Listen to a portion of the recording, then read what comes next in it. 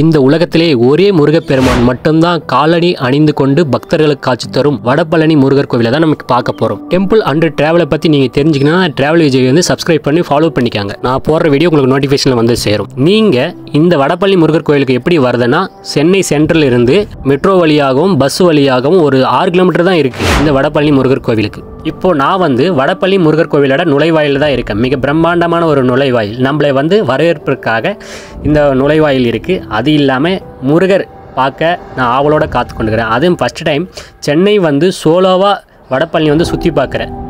அதுதான் நம்மளுக்கு ஒரு கொஞ்சம் பயமாகவும் கொஞ்சம் தைரியமாகவும் இருக்குது இப்போ வடப்பள்ளி முருகர் கோயிலோட ராஜகோபுரம் தான் பார்க்குறோம். இந்த ராஜகோபுரம் மிக பிரம்மாண்டமான ஒரு ராஜகோபுரம். சரிங்களா? ஆயிரத்தி தொள்ளாயிரத்தி இருபதுல மிக பிரம்மாண்டமான ஒரு ராஜகோபுரத்தை தான் இந்த கட்டியிருக்காங்க. நான் உண்மையிலேயே வடபழனிக்கு இவ்வளோ பக்தர் வராங்கன்ட்டு நான் எதிர்பார்க்கவே இல்லை. ஏன்னு கேட்டால் நான் போன அன்னைக்கு வந்து திருமண நாட்கள்.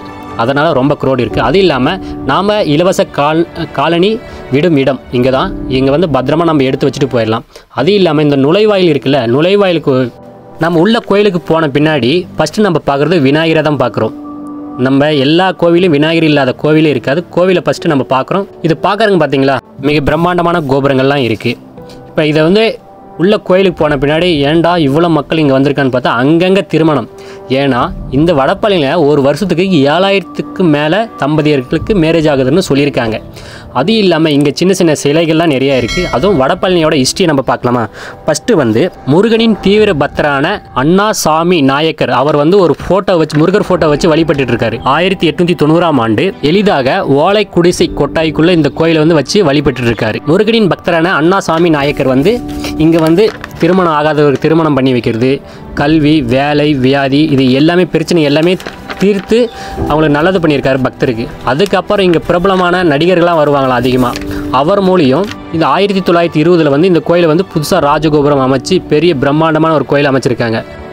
ஃபஸ்ட்டில் வந்து அண்ணா சுவாமி நாயக்கர் வந்து இந்த கோயிலை கட்டின பின்னாடி இவர் தான் பூசாரியும் இவர் தான் இந்த நிறுவனர் எல்லாமே இந்த இவர் தான் பார்த்துக்கிறாரு. அதுக்கப்புறம் அவரை சீடரான ரத்னசாமி செட்டியார் தான் பாரம்பரியமாக இது வந்து தொடர்ச்சியாக கண்டினியூ பண்ணிகிட்டு இருக்காங்க. ஏன்னா இந்த கோவிலில் வந்தால் என்ன ஒரு விசேஷம்? நல்லது நடக்குன்னா நம்மளுக்கு கல்வி திருமணம் நோய் வியாதி இது எல்லாமே தீர்க்குன்ட்டு இங்கே சொல்லியிருக்காங்க.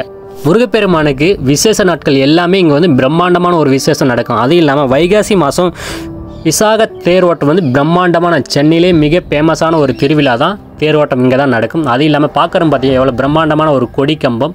அந்த காலத்தில் இருக்கிற கொடி கம்பம். இங்கே இருக்கிற கல்வெட்டுகள் எல்லாம் சித்தர்கள் சீடர்கள் இந்த நாயன்மார்கள் அவரோட ஃபோட்டோ எல்லாமே இருக்குது அது இல்லாமல் ஆறுபடை வீடு அதோட அவரோட சிலைகள் எல்லாமே டிராயிங்கில் வந்து உறைஞ்சிருக்காங்க. அதுதான் இங்கே ஒரு அற்புதமாக இருக்குது இங்கே பார்க்குற உள்ளக்கிற சிற் கலை அந்த டிசைன்லாம் வேறு லெவலான இருக்குது உள்ளே வந்து முருகப்பெருமான்னு ஒருத்தர் இருக்கார்ல அவர் வந்து காலனி அணிந்து கொண்டு தான் இருப்பாராம்.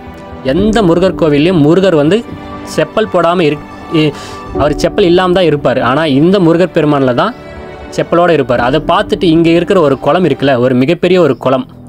அதில் ஃபிஷ்லாம் இருக்குது அதெல்லாம் பார்த்துட்டு இது வந்து ஃபஸ்ட்டு முதல்ல வந்து ஒரு கோபுரம் இருக்குல்ல இங்கே தான் முடி காணிக்கலாம் கொடுத்தாங்களாம். இங்கே முடி காணிக்க எல்லாமே தரலாம். இங்கே பார்க்குற அந்த கலர்ஃபுல் உள்ள இந்த நம்ம ராமாயண மகாபாரத்தில் இருக்கிற அவரோட சிலைகள்லாம் மேலே எல்லாம் அற்புதமாக துல்லியமாக அழகாக வடிச்சிருக்காங்க. அது இல்லாமல் பெயிண்டிங்லாம் இவரோட இதுதான் அந்த குடிசைக்குள்ளே வாழ்ந்தார்ல அண்ணாசாமி நாயக்கர் அவரோட ஹிஸ்ட்ரி தான் இங்கே ஒரு ஃபோ டிசைனாக பண்ணியிருக்காங்க. நீங்கள் போகும்போது ஃபஸ்ட்லேயே பாருங்கள் உங்களுக்கு பிடிச்சிருக்கும். சரியா? இது ஃபுல்லாக நம்ம சாமியெல்லாம் கும்பிட்டு அப்படியே வெளியே வரும்போது எவ்வளோ மக்கள் இருக்கான்னு தெரியுமா? யாருக்குரிய ஒரு ஐயாயிரம் பேர் பக்கமாக மிச்சமாக தான் இருப்பாங்க. இது மாதிரி வீடியோ உங்களுக்கு பிடிச்சிருந்தா ட்ராவல் விஜய் வந்து சப்ஸ்கிரைப் பண்ணி ஃபாலோ பண்ணிக்காங்க.